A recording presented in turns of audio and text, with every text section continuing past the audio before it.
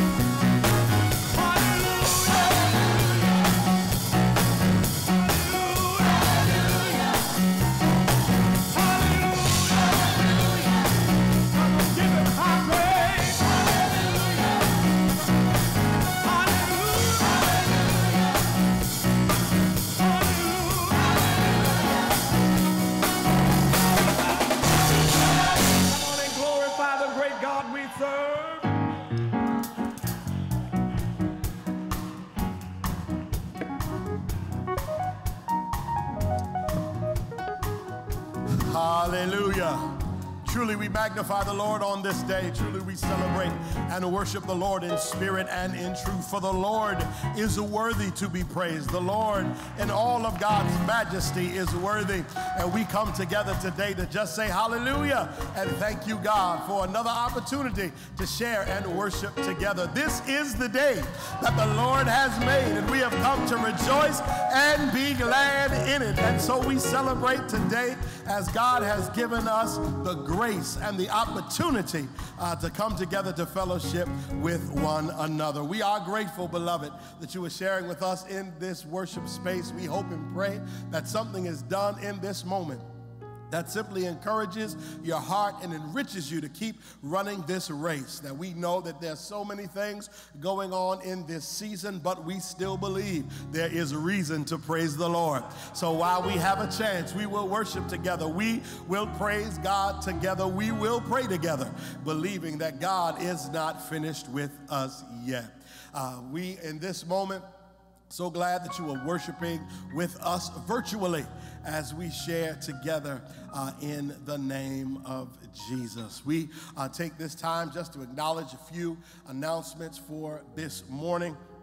And so please make sure that you are indeed uh, ordering uh, yourselves and conducting yourselves accordingly in regards to these announcements. Please be made aware that we are still looking for you to sign up virtually for our virtual Sunday school classes. That as we continue to share, amen, we are grateful about that. We are grateful and excited that we continue to be a church that is mobile, that New Calvary is mobile in this season. And so please, there are those who are uh, still interested and excited about sharing in their Sunday school learning and in their Sunday school classes. We've been told that our Sunday school classes have been missing each other, and so we want to give opportunity to do that. So make sure you are calling the church office to sign up to make sure that you can be a part of one of those classes. Uh, the virtual school will begin in the first week in November, so please make sure that you are signing up for that as well. Also, please know that every Sunday from 11:30 to 12:30 we are sharing in our teen ministry as they go virtual. We're grateful for our teens and our young people who are sharing and continuing to do ministry in this mobile season. Uh, and so uh, we will they, they will get together every Sunday from 11:30 a.m. to 12 p.m. on Zoom. And so uh, the information will be posted on your screen, but that ID number is 884 7957 7091. There is no password required, young people, so make sure that you get on and make sure that uh, you share and participate in the fellowship as we come together. Continuing to move in our virtual Bible study as we talk about this journey of Job and what is happening in Job's situation and in Job's life. And this week, we continue as we look at Elihu and see what young Elihu has to say to these friends who have shared with him and ex- explained in, from their perspective Job's situation. But we're going to hear from Elihu and we're going to wrestle with what Elihu has to say to Job in this season. So we pray that you are all with us this Wednesday at 7 p.m. as we get into the scriptures and that we uncover and unpackage uh, what it means to journey in this world and suffering, particularly in this in between season.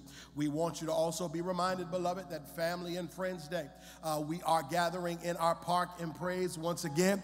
We will be celebrating in part once again in our park in praise October 25th at 10 a.m. October 25th at 10 a.m. We'll probably open up around 9 uh, o'clock or 8.30 uh, for those to come in and set up. So please make sure that uh, we want to make sure that everybody's adjusted in their parking. So please come on out uh, and share as we celebrate family and friends day together. I promise we're going to have some stuff for you. We're going to be uh, it's going to be exciting. We're going to put that together as well please make sure that you continue to be a blessing to the New Calvary family with your tithes and your offerings. We make no apologies and make no mistake to tell you that we cannot make this happen without the New Calvary Baptist Church family. So continue as we go forward to make sure that things go virtually, as we continue to make sure that our operation uh, budget continues to be met. We need your financial support and your financial giving. So please be faithful to the New Calvary Baptist Church family. You can bring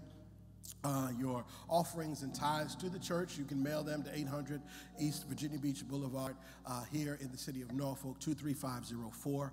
Or uh, you can get on Givelify and make New Calvary your favorite place to give uh, as you continue to sign up uh, and sign on and share with us in those ways. However, you give, we understand that it is our obligation as believers to continue to be faithful to God for all that God has done for us. We are indeed continuing to go forward in our prayers in this moment that as we invoke the Lord's presence in this place, there may be someone that you are looking uh, to pray for and to pray with. We continue to pray uh, for the Arnold family. We continue to pray in this season and in this moment uh, that for those members of the New Calvary family who continue to need encouragement and direction. So if that is you, just please put your prayer request in the comment section and we will make sure uh, that our virtual minister continues to respond and react and offer up prayer and encouragement to you in this time. And so as we go in this moment, we would ask that you would bow and share with us in a word of prayer. Gracious and eternal God, how thankful we are for all that you have done and how you continue to bless us and keep us. Grateful, dear God, for you leading us in this moment. And God, we ask that you would just continue in all things to strengthen us in uh, this worship experience.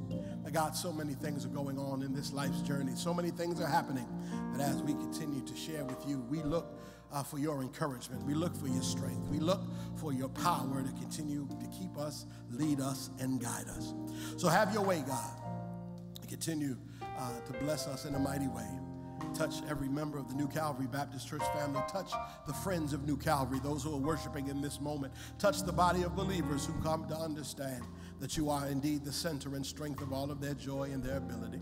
God, we pray, God, for a nation that continues to be divided. We pray for a nation that continues to seek answers. But most of all, we pray for a nation for those who earnestly seek your face and your direction.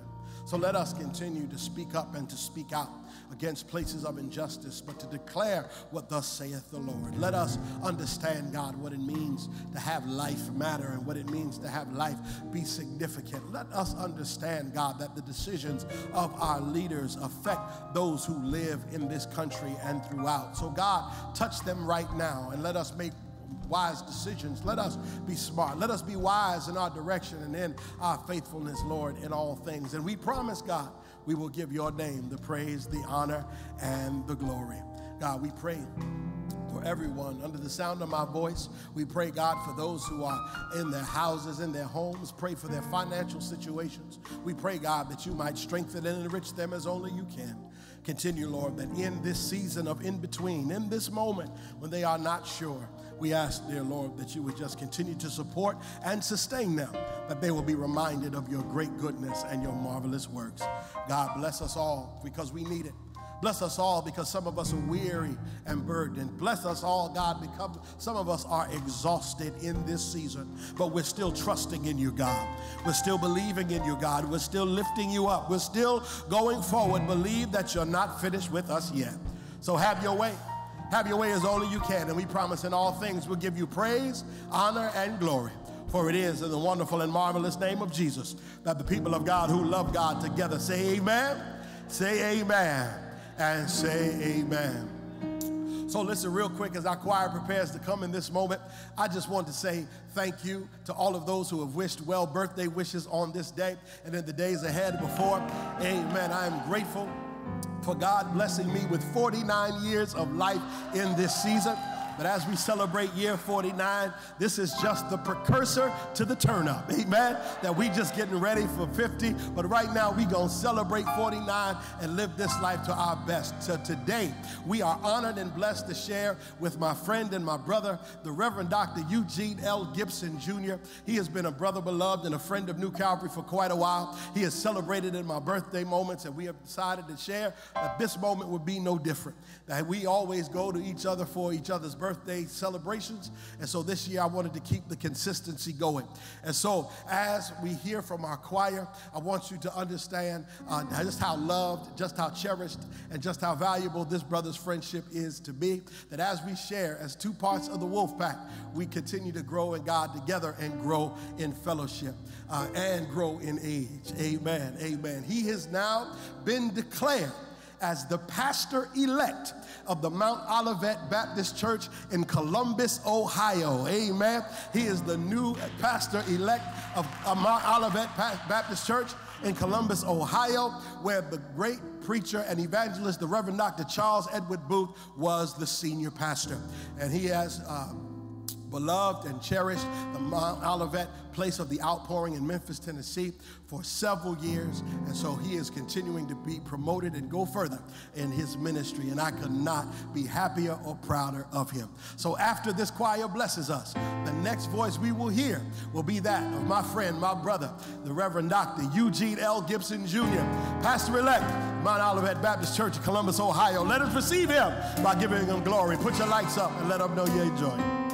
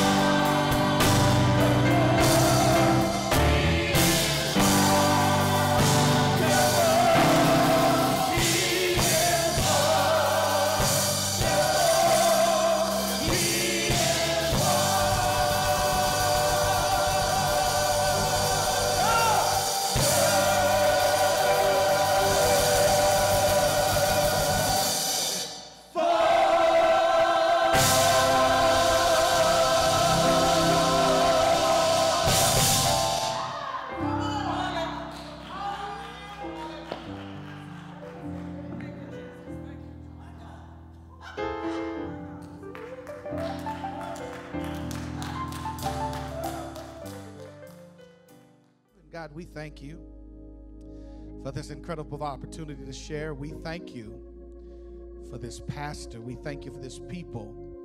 We thank you for this celebration. We thank you for this time of revival. We bless you now, God.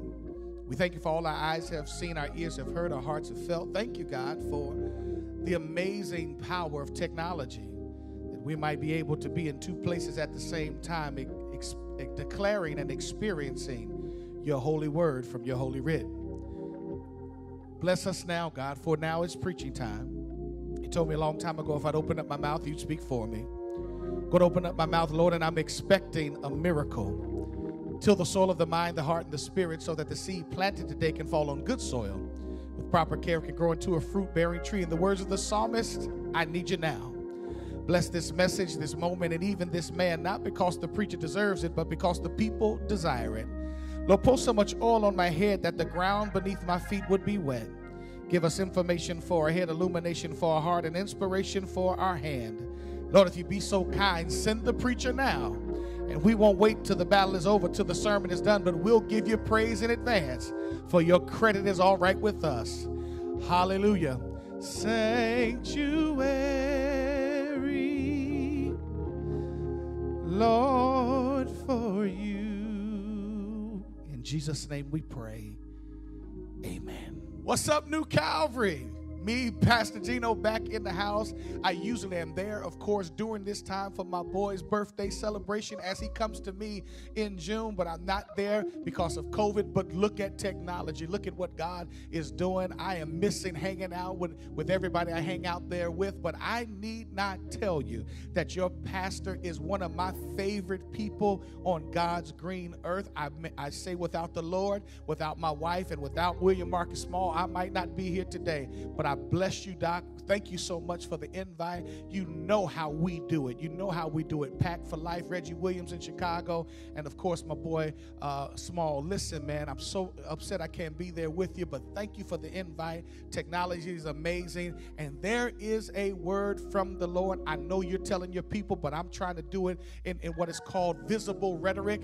Everybody has to go vote. Make sure you go vote so that we might be able to be a difference in this city, this state, this nation, and even this world, but small. Listen, man, love you, Doc, more than you even know, more than I can even tell you. But we are going to get together soon as this COVID lifts. Once again, New Calvary, put your hands together for your pastor. I ain't gonna tell you how old he is. Same age as me, though. Check it out. Happy birthday, William Marcus Small. There's a word from the Lord. Let's go to the text. Book of Matthew. The book of Matthew, the 27th chapter. 24th through the 25th verse in the New Revised Standard, the book of Matthew, Gospel according to Matthew, it says these words So when Pilate saw that he could do nothing, but rather that a riot was beginning, he took some water and washed his hands before the crowd, saying, I am innocent of this man's blood. See to it yourselves. The people as a whole answered, his blood be on us and our children. And I want to preach with the aid and assistance of the Holy Spirit as well as your prayers. Some stuff just don't come off. Some stuff just don't come off. And I would that you would flank me with your prayers on some stuff just don't come off. Brother Calvin, thank you so much for sharing with us tonight. Some stuff just don't come off. Beloved of God, we've heard it before, and we probably date ourselves when we when we say it. Sugar and spice and everything nice. That's what little girls are made of. This nursery rhyme, number 821 in the famous Roud Folk Song Index, said to have been written by Englishman Robert Sutherly, says that girls are made of sugar and spice and everything nice. Girls who are soft, girls who are pretty, girls who are beautiful, and girls who are clean, according to Southerly, are made up of sugar and spice and everything nice. Well, he keeps writing and says that if that's what little girls are made of, little boys are made of frogs and snails and puppy dog tails. This is what Southerly said little boys are made of. Well, me, not, not, not so much. My mother made sure that from the youngest possible age that I had impeccable hygiene practices. I mean, to the point that she probably created a monster. My wife will tell you that I'll take three showers a day for just no reason. I mean, in fact, I'll take a shower to go work out, to come home to take a shower again. That's why I never understood frogs and snails and puppy dogs' tails because I thought that I had it down. I thought that I had my hygiene pretty tight until I met my wife, Sugar and Spice, and everything nice. I mean, she came into my life and made me feel like I was frogs and, and snails and puppy dog tails. And she did it in the most simple way. She said, out of the clear blue one day, You are going to wash your hands, aren't you? And it's amazing that since I met this woman, I've probably washed my hands more times than I've ever washed my hands in my entire life. In fact, I walk around in a perpetual state of ashiness because my wife wants me to wash my hands. And what's most embarrassing about these moments is that sometimes she treats me like the children and says out loud in front of everybody, Did you wash your hands? And I say yes. And then she says, like I'm seven, with soap, because somewhere she has either learned or came to believe that if you wash your hands, simply wash your hands, that everything that you have touched or everything that has come into contact with you will somehow come off. It is amazing that during this pandemic of COVID-19, one of the greatest outbreaks in modern in the modern era, over 1 million deaths worldwide and 210,000 in America, one of the most consistent deterrents or protocols for to keep people safe is that they talk about worldwide you need to wash your hands with soap for at least two minutes because they, like my wife, believe that simply if you wash your hands, everything that you have touched or everything that has touched you, and arguably everything that, that, that, that you've come into contact with, will come off if you simply wash your hands. You do know that our hands represent our actions. Shakespeare said that the hand, even though the eyes are the windows to the soul, that hands are the actions of what the soul of what the, is in the soul. I mean, if you if you hear me you hear me say it every week when I preach. I talk about I talk about God give us information for our head. That's the stuff that I think and I know. The illumination for our heart. That's the stuff I believe and I feel. But ultimately, God give me inspiration for my hand. My hand my hand is what I do with my actions. The hand is the sum total of my work. It is, it is more than what I know and I believe. It's more than what I think and what I feel. But my hands are the kinetic part of my spirit. It's how I lay my lot. My hand is how is how I work. My hand is what I do. Calvin, whether subconsciously or consciously, my hand is the ultimate expression of my soul. Your hands can bring you glory, and therefore you raise your hands in victory or pump your fist in triumph, or they can bring you shame. And that's when you try to hide your hand or you wash them to remove the sting, the stench, and the stain. And the Bible says that Pilate, that Pilate ordered some water in the middle of a court proceeding to wash off whatever he had done or whatever he was about to do with his hands. You remember Pilate, don't you? The Roman governor assigned to the outpost of the American, I mean the Roman Empire called Judea, filled with those undesired black, mean black, I mean um, Jewish people. This was not the place that Pontius Pilate wanted for his career. In fact, some say that he had been stationed there as some type of demotion, that he was being taught a lesson and he was given to this undesirable place with such an undesirable people. He was far removed from the crowning glory of Rome. Yeah, he, he was placed in a place where the knee of America, I mean literally uh, the knee of, of, of, of, of Rome was on the neck of the marginalized black, I mean Jewish population. You've seen this place before, haven't you? Place where there's limited access to education and unemployment. In, in the black and brown, I mean Jewish parts of town, little or no adequate health care for babies before or after birth. Black boys, I mean Jewish boys who, who step out of line are, are, and don't toe the imperial line are seen as a threat so many times that they are cast into the margins. And unfortunately, if they, be, they become bloods or crips, I mean zealots or banditti, these, these are the boys that I'm not that are not towing the imperial line. And of course, if they get caught doing something that they should not be doing, the police, I mean the Roman guards who maintain constant uh, pro- uh, presence among them, do not really have to give them a fair trial, but they could mete out their form of justice that included flogging with a cat or nine tails at least, and ultimately crucifixion, making it clear that in America, I mean Roman controlled Judea, black lives, I mean Jewish lives, absolutely don't matter. And it is to this undesirable outpost with these undesirable people that Pilate was assigned to be the governor. And though he didn't like it, he, had been there long enough that things were going pretty good. He had been there long enough to know how to maintain control until he heard Kenny. There was a young Jewish preacher from, from Nazareth of Galilee named Jesus who was upsetting the status quo. And it was more than just a little ruckus. It was more than, than just a little ruckus. I mean, the Jewish leaders had arrested and tried Jesus and convicted him in what the old preacher would call a kangaroo court. And when uh, they were petitioning Pilate, for permission to kill him because crucifixion could be only granted by the governor. They did not like this Jesus because he was upsetting things. They did not like this Jesus because the status quo was messed up. These Jewish leaders did not like this. They didn't like this Jesus. They didn't like him because he was messing up, but they arrested him, they tried him, and they convicted him, but they could not kill him without the governor's permission. And it was on this day that Jesus was to be in court. I wasn't there, but I was just thinking that, that Pilate probably was not, a, it was not a good morning for Pilate. He probably didn't wake up on the right side of the bed. He checked his calendar and said, ah, he remembered that the black, I mean Jewish leadership, that though they came to the White House for press photo ops and all of that stuff, that he in his own soul despised them because at the end of the day, they were still black, I mean Jewish.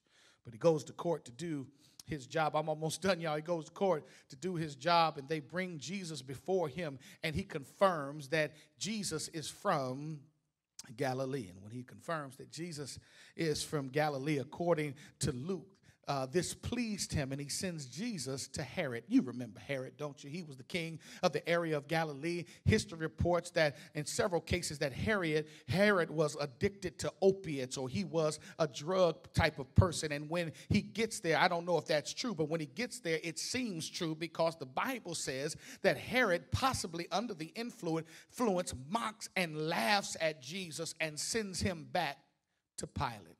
Pilate's doubly upset. He's in a place that he doesn't like to be. He sent Jesus over to Pilate, I mean, over to Herod. Herod sends him back. So Pilate says, If I have him flogged, he should be all right. So they have him flogged. He has him flogged. And Jesus, as the old pastor would say, they whipped him all night long. Uh, they took they took turns and they they beat him 39 39 lashes apiece 40 minus 1 and all of this is going on. However after all of this pilate thinking he satisfied the ravenous taste in the mouths of the jewish leadership after all of this they ask still for jesus to be crucified Pilate, with the pillow talk of his wife fresh in his ear, his wife told him, of course, that she, she had a dream about Jesus, and Jesus was an innocent man. He should not do anything to Jesus.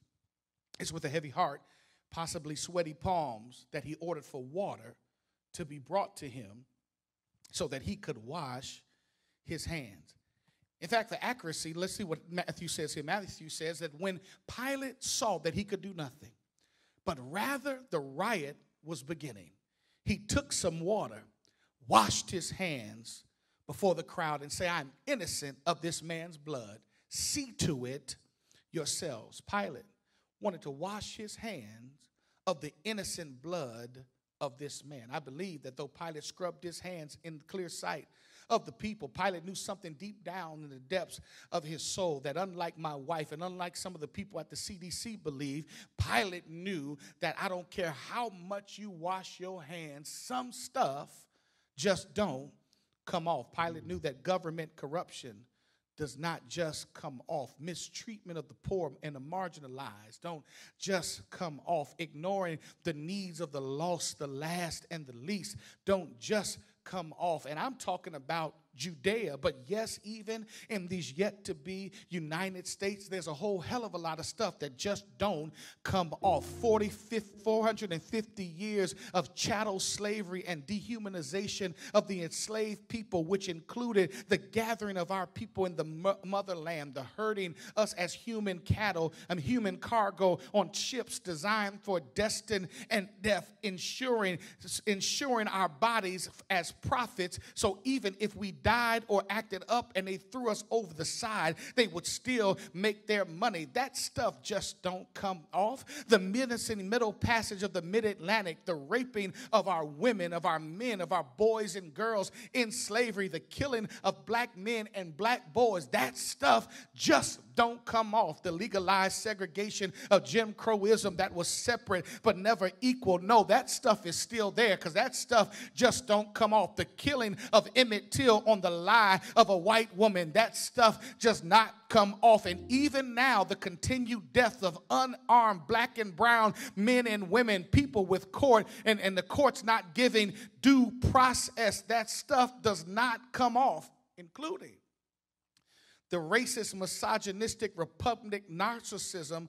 of the occupant of the White House, even right now, who has proven that he cares nothing about this country, his party, his family, or even his wife, preserving himself at all costs. That stuff does not just come off. but even in our own lives, the things that we have done, the stuff that people have done to us, Though we might think we've washed our hands, and we have, and even though it seems like our hands are clean, we know some of that stuff just don't come off. That bankruptcy just don't come off. Our credit is better, but that the, the hurts of that does not just come off. The divorce that we went through. We're married and happy now, but that stuff just don't come off. That molestation and rape does not just come off. It's just it's been years ago, but it doesn't just come off. In fact, had a lady come to my office she was 50 something years old. And she came to my office bawling, crying, and asked her what, what happened. She said a friend of the family had just died. And when she was 16 years old, that friend of the family raped her. And she and he were the only people that knew. She was happily married and had kids, but that stuff did not just come off. The Bible says that Pilate ordered some water to wash his hands. The people told him he told the people that the guilt would be on them. And in the next verse, they say to him, The people answered, His blood be on us and even our children. Oh, if I had time, if I had time, I would talk about the generational stains that seemingly, seemingly plague many of us. And I, because our parents' hands look clean, our grandparents' hands look clean, but there was some stuff that did not come off, and generations have to pay for the stings. Generations have to pay for the stains. Generations have to pay and deal with the stench that just does not come off.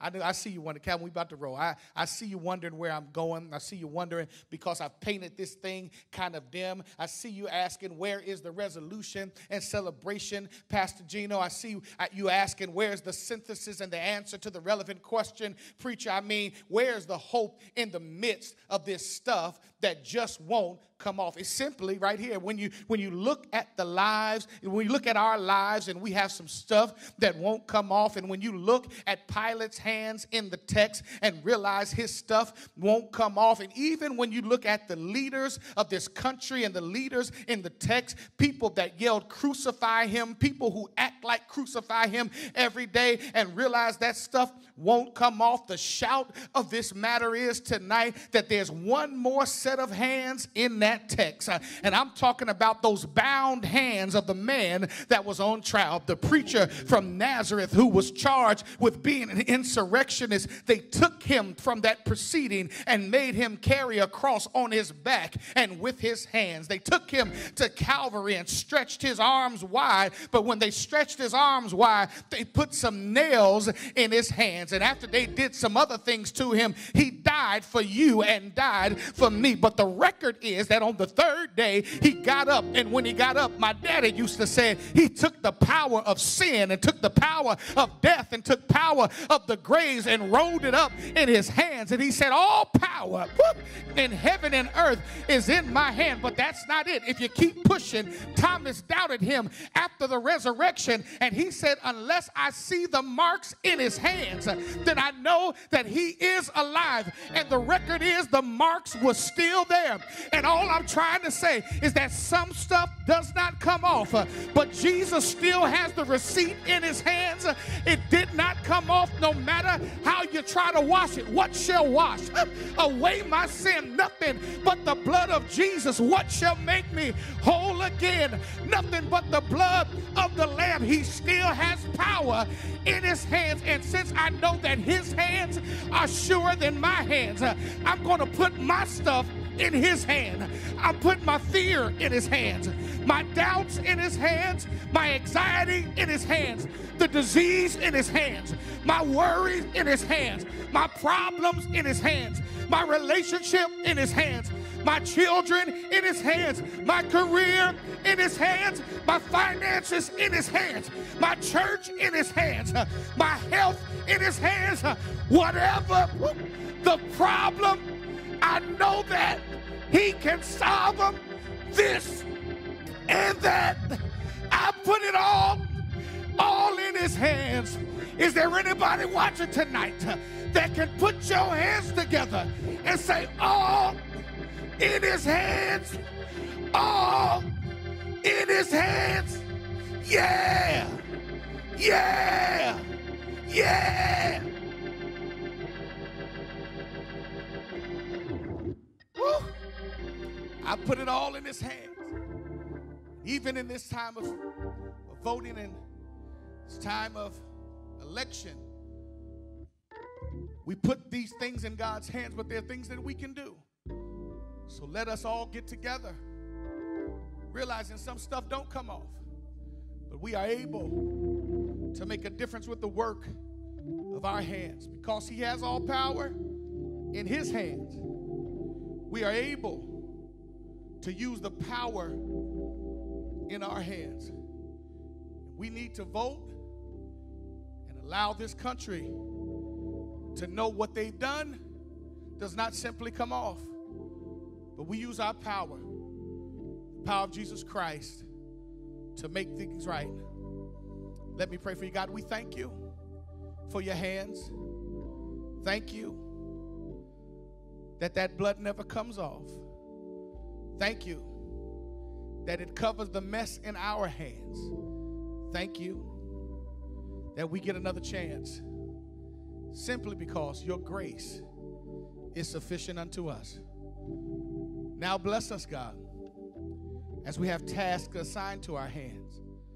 For those of us that are voting, those of us that are able to vote, give us the strength as we go forth, realizing that because of you. Every stain, every sting, and every stench on our hands is no longer held against us. You covered by your blood. That we give you glory. Bless this pastor. Bless this people. Bless this celebration. We thank you now in Jesus' name. This is the word of God for the people of God. Thanks be to God. Amen.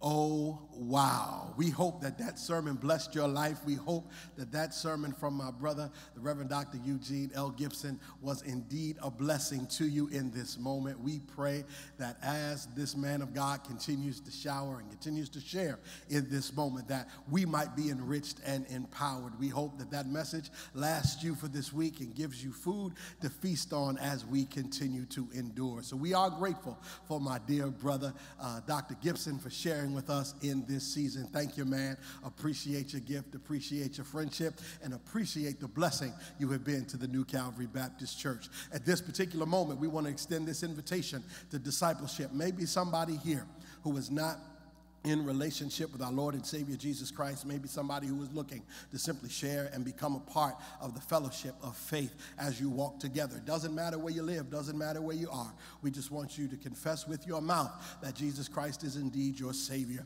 And we want you to have a relationship as you walk in this life, understanding that God has more possibility in store for you. So if that's you in this moment, I just want you to raise your hand and say, God, I love you. God, I'm calling upon you because I want through I went through this life and I've gone through this life so far believing that I could do it by myself. But I've understood, God, that I can't make it without you. I've understood, God, that I have some talents, I have some abilities, and I have some gifts. But God, through it all, I need you in the places where I fall short. I need you in the gaps. I need you in the hard and rough places. And so, God, if you will, just accept me. I take you into my heart right now. I take you into my heart, God, and as your son, Jesus Christ, as my Savior, that his example, his life, his teaching would lead, guide, and direct me to be the best me that I can be. That as I walk with you, I understand that you have covered me and forgiven me for whatever it is and my places have fallen short. But I continue to understand that I strive to do more and be better in this moment. So, right now, God, I just ask you to have your way in my life. Continue to lead me and direct me. And in all things, I'll give you praise. All things, I'll serve you. All things, I'll, I'll lead and be direct, be follow where you lead me. And it is in the wonderful, marvelous, and majestic name of Jesus Uh, that I say amen. And I say amen. We here celebrate with you and we applaud whatever God is doing with you in this moment. For we recognize that God is continuing to keep and restore you in this moment. What a time, beloved, we have had today in worship. What a time we have had in service. We believe that God has blessed and ordained this moment. And again, I just want to thank everybody for celebrating and sharing with me in what I believe is a very, very special time. Grateful for all of you, grateful for my family that continues to support and bless, grateful for the new Calvary family. And as we continue to go forward, I believe that God is not finished with us yet. So as we continue to depart from this place, we want to leave with a word of prayer. Please be mindful that on this Monday we will share in our prayer call at 8 a.m. So please make sure that you're on the call sharing and being blessed. And as you get encouraged to see what the rest of the week has for you, we will get together on Wednesday to share in our virtual Bible study at 7 p.m. And we look forward to sharing with you in our worship again at 11 a.m. next Sunday. So here it is. May the Lord bless you and keep you. May the Lord cause his face to shine upon you and be gracious unto you. May the Lord place his countenance upon you that you might have peace both now and forevermore. And the people of God who love God together, they would say, Amen, Amen, and Amen. God love you. God bless you. We see you next time. Until then, take care of yourself and take care of each other. We'll talk to you later. Peace.